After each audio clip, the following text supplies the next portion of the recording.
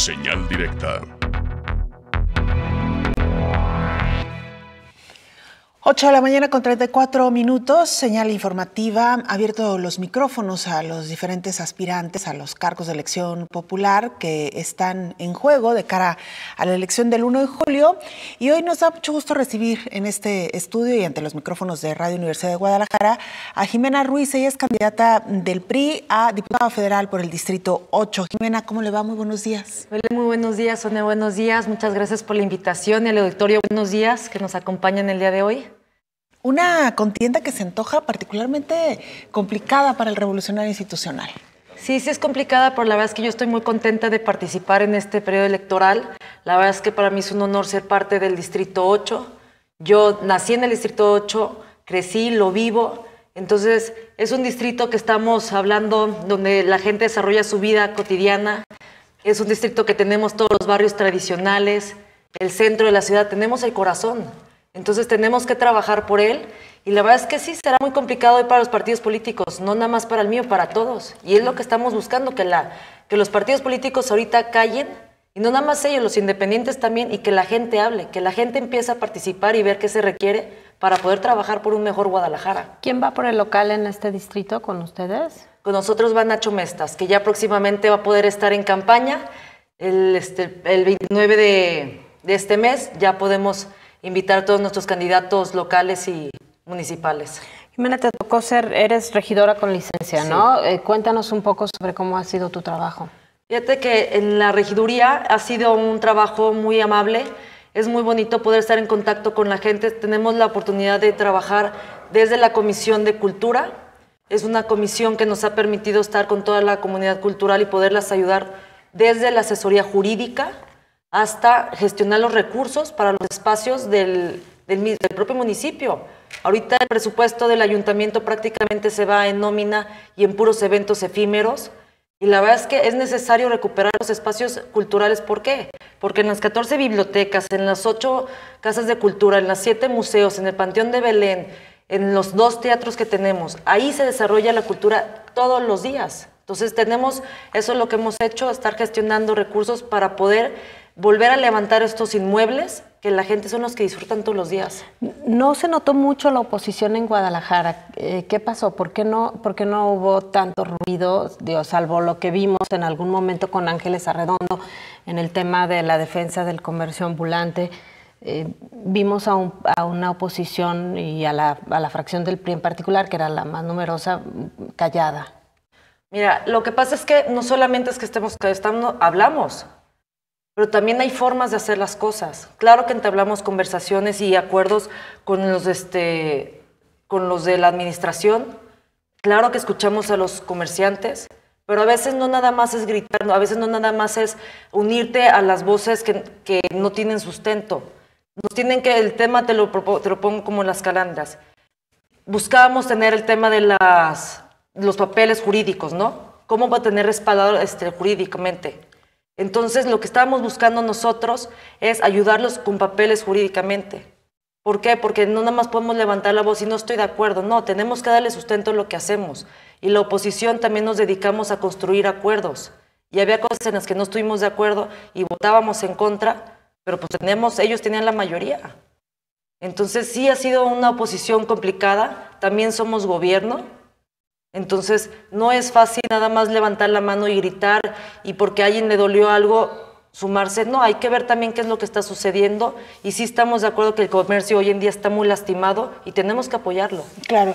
Ah, Jimena, para quienes no te conocen, cuéntanos un poquito eh, dónde vienes, tus estudios, tus aficiones. Mira, Belén, nosotros, yo soy Jimena Ruiz Uribe, soy una joven de 31 años, eh, soy la tercera, la más chica de tres. Tengo dos hermanos que también son profesionistas. Desde nuestra casa nos enseñaron a trabajar contra la adversidad, a trabajar con lealtad, con congruencia, con gratitud, a que los sueños con acciones se cumplen. Y unos, sueños sin acciones, pues es una ilusión. Entonces nos han puesto el ejemplo nuestros padres, nos han enseñado que sí se pueden hacer las cosas y sus propias historias nos han inspirado a nosotros a crear nuestra propia historia.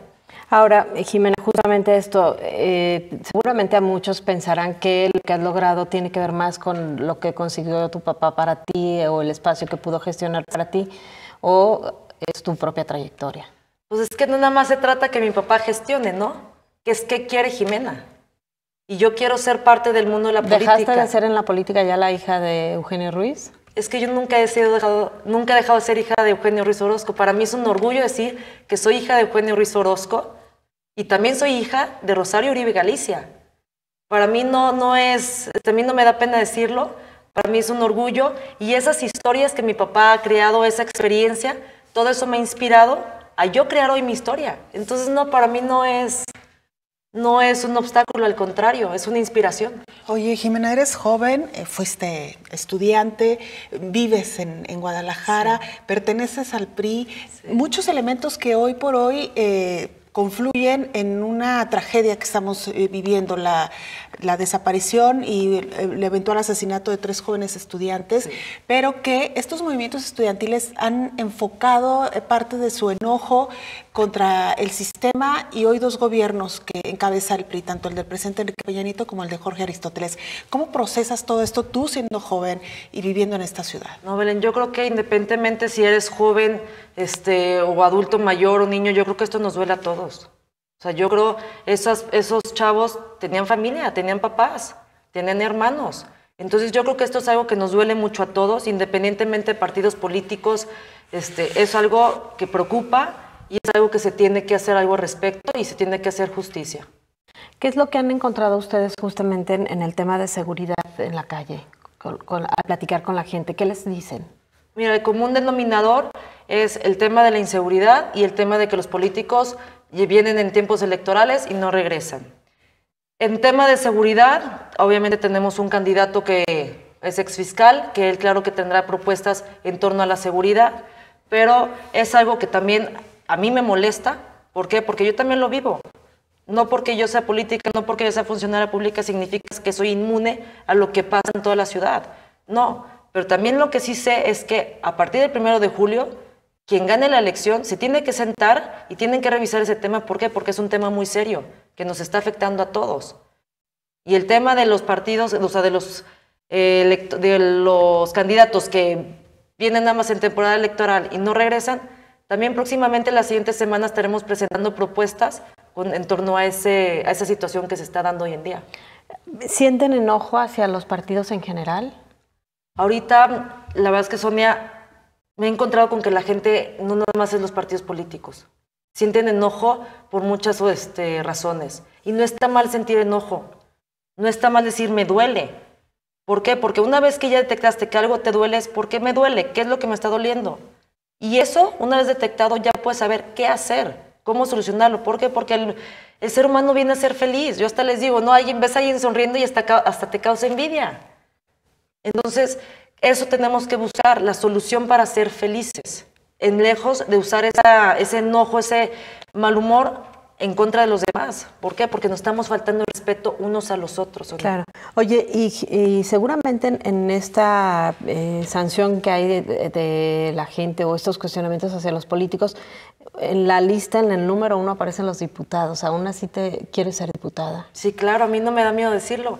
Yo quiero ser este, diputada. Para mí es muy importante, este, soy arquitecta, pero he decidido que mi carrera profesional la voy a destinar al servicio público. Yo sí quiero hacer una carrera política y para eso es importante estar ocupando diferentes cargos. Y cada cargo es importante y cada cargo tiene su responsabilidad y yo estoy dispuesta a todos los temas estarlos trabajando desde la trinchera en la que esté.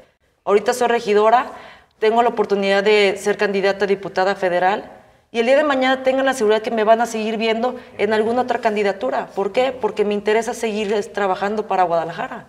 ¿Qué iniciativas, brevemente Jimena, porque se nos acaba el tiempo, cuáles serán algunas de las iniciativas que impulsarías en caso de llegar al Congreso? Mira, la siguiente semana estaremos presentándolos ya este, puntualmente, estamos afinando, están en el horno, pero prácticamente vendrían siendo en temas de innovación, en tema del adulto mayor y la familia, eh, en tema de, de educación, y algunas otras más van a ser las 8 del 8. Entonces la siguiente semana con mucho gusto ya se las podemos presentar listas y ojalá nos vuelvan a invitar para, para podérselas presentar y que la gente las conozca. ¿Por qué? Porque se construirían junto con la gente.